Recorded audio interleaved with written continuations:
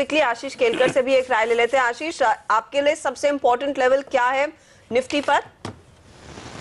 Good afternoon Harshada ji और Anil ji. Nifty का chart अगर हम देखते हैं तो मैं मानता हूँ कि 9,900 और 9,870 ये एक स्ट्रॉन्ग सपोर्ट चार्ट के ऊपर दिखाई दे रहा है। जब तक हम इसके ऊपर है मैं मानता हूँ बुलिश मोमेंटम जारी रहेगा।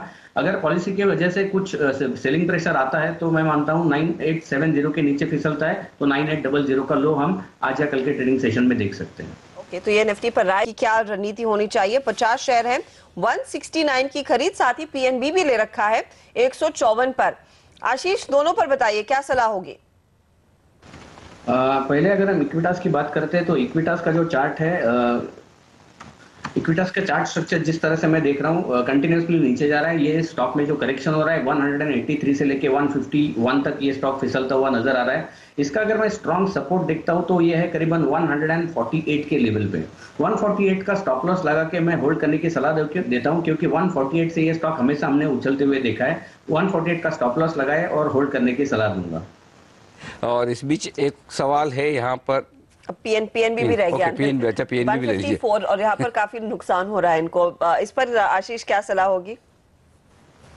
पीएनबी का चार्ट स्ट्रक्चर भी बहुत ही नेगेटिव दिख रहा है क्योंकि हम अगर इसको देखते हैं तो ये continuously lower top lower bottom बनाते हुए नीचे की तरफ़ चल रहा है हर्षदा जी।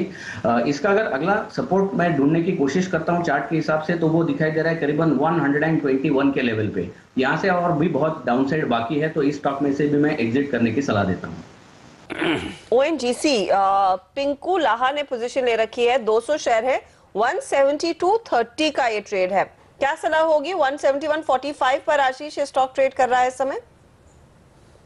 मानता होल्ड करके रखना चाहिए, क्योंकि इस स्टॉक ने अभी अभी डबल बॉटम जो ट्रेंड रिवर्सल पैटर्न है, वो बनाया है, और यहाँ से ये हायर टॉप हायर बॉटम बनता हुआ ऊपर की तरफ़ चल रहा है। होल्ड करने की सलाह होगी। स्टॉप लॉस जो मैं देख रहा हूँ, वो है करीबन 169 का।